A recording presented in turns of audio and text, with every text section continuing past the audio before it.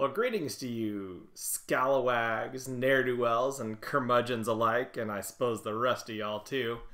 this evening I will be drinking, and I swear I will be enjoying, the Cherries Jubelale by Deschutes.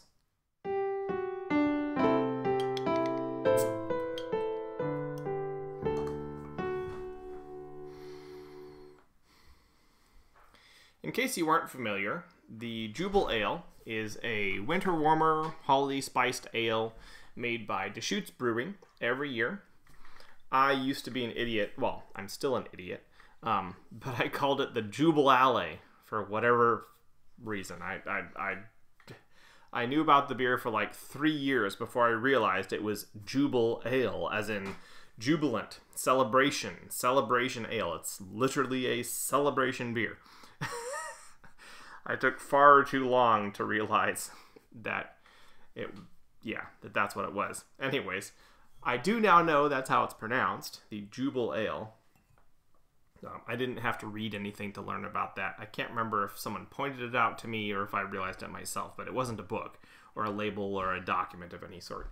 Um, anyways, traditionally the Jubelale is just a spiced holiday brown or winter warmer ale um, this is a special cherries Jubelale, which when I saw on, saw on the shelf uh, a month ago, I was quite excited to see.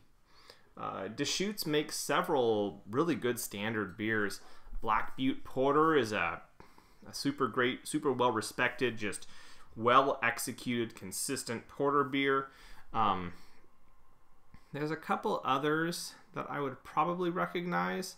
But I think if you're talking about Deschutes brewing and wide distribution, you're probably talking about the Black Butte Porter, obviously another dark ale. So that does seem does seem to me based on my own memory what they might specialize in is the darker ales, but I'm probably wrong on that. Anyways, let's uh, pour this and see what it's all about.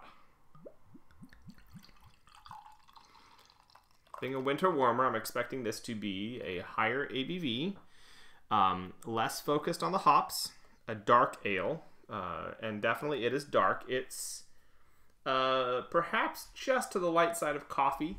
The head is cream colored. It's actually a relatively dark head and uh, a bit rocky, but it's also thin and goes away pretty quickly. The beer itself has some body to it. As you can see, it hangs out on the sides there pretty well.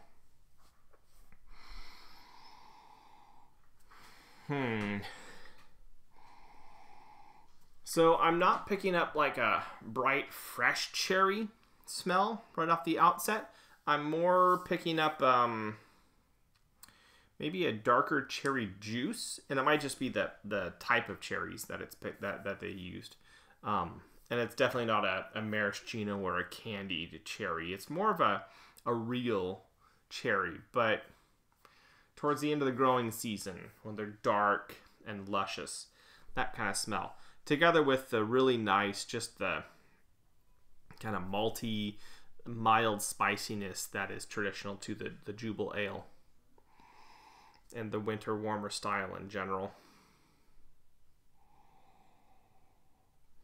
It smells like a good beer. Um, no off, no off smells. Nothing smelling funky or weird or questionable. Um, funky in a bad way. it smells good. It smells interesting it smells as though it will taste of like cherry juice and a good cherry juice. Not those, you know, where the first ingredient is apple juice, you know, from condensate.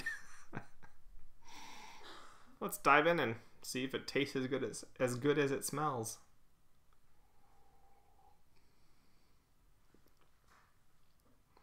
Oh heck yeah! Ooh, okay. Ooh, okay.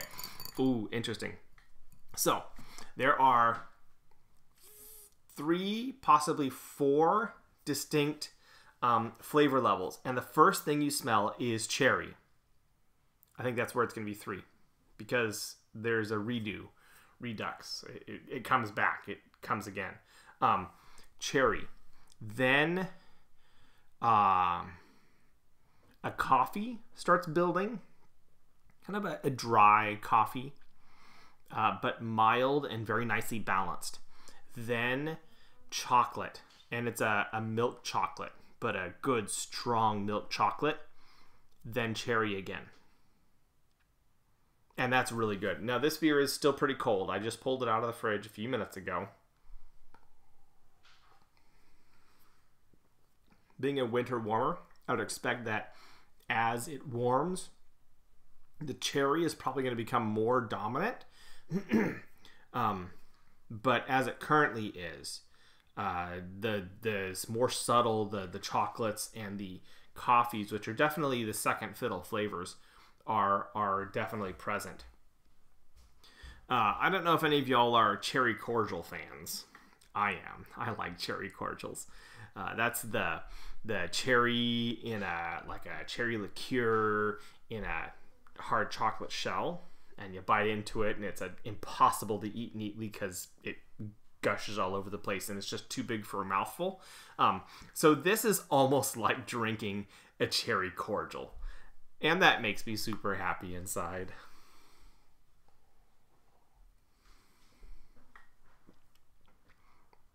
Yeah, they went all in on cherries. The cherries are no lie. That is good stuff.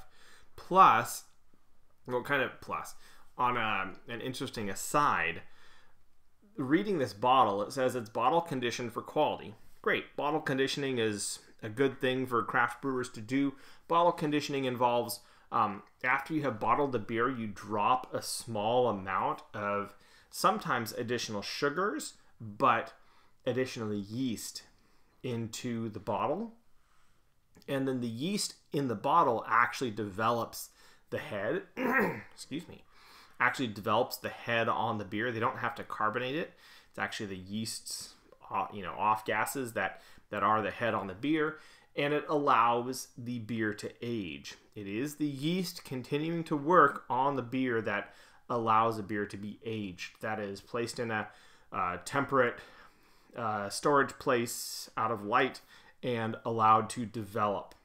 It's just the, the yeast continuing to work on the sugars in the beer. Sorry.